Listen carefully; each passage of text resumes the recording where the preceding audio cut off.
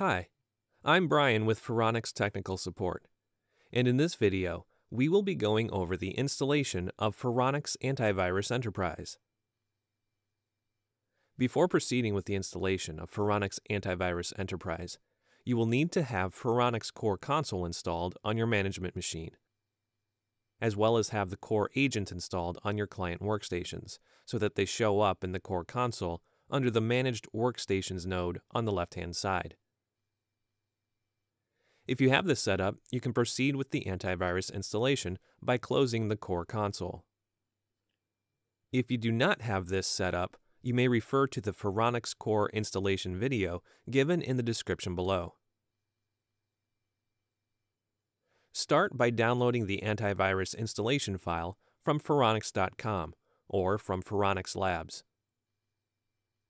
Once you have the installation package downloaded, right-click on the compressed folder and extract the contents of it. You will now see the Antivirus 4 loading installer.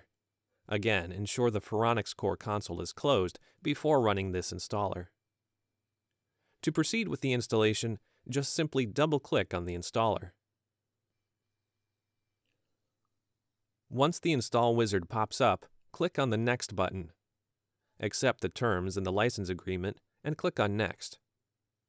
Here you may specify a username, organization name, and the license key which you can get from faronicslabs.com, or use the 30-day fully functional evaluation.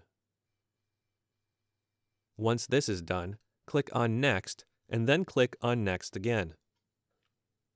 Hit the Install button to begin the installation, and then click on Yes to restart the Faronics core service.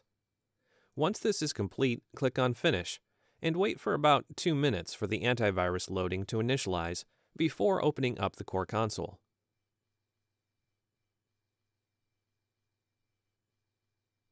Once the core console is launched and connected, expand the localhost node on the left-hand side.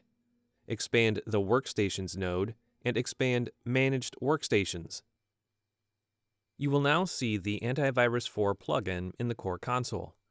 If you select this, you will notice that there are no workstations listed on the right-hand side, since no client workstations have Faronics antivirus installed on them.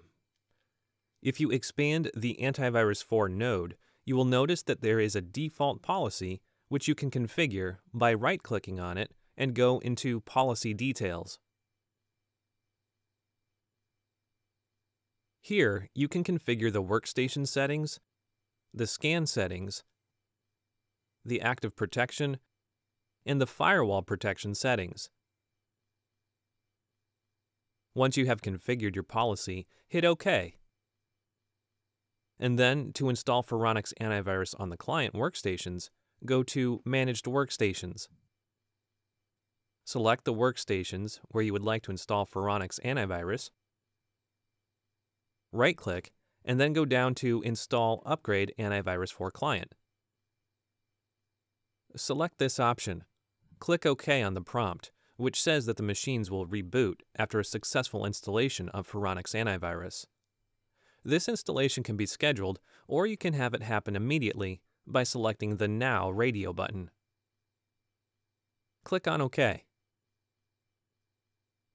Once that's done, you will notice in the Active Task column that the install of the antivirus is in progress. You also see this in the Tasks node on the left-hand side. If you expand the Tasks node, expand Active, and you will see the install in progress. If this is successfully completed, or if it fails, you will see the result in the History node.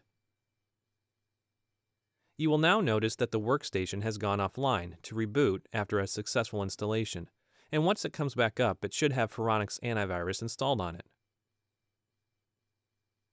Once the machine is back up online, you will notice that the machine now has Faronics antivirus.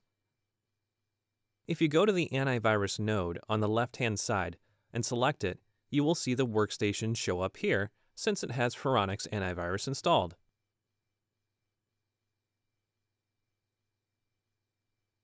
From here, you can control the antivirus by right-clicking on it, and then you can perform actions such as scanning the workstation, viewing the quarantine, fixing an antivirus product if it has any issues with updating or scanning, updating the definitions, you can reassign a policy, enable or disable the firewall, enable or disable the active protection, view the scan history, and then upgrade the version of Faronics antivirus as well. If you go down to the system tray, you will notice the Faronics antivirus icon. If you see a red X initially on it, this means that the Faronics product is just getting the latest definitions and also will perform a scan before the machine is recognized as fully protected. This should happen in a couple of minutes, depending on your internet connectivity. If you have any questions or see any issues during the installation of Faronics antivirus, please contact Faronics Technical Support. Thank you.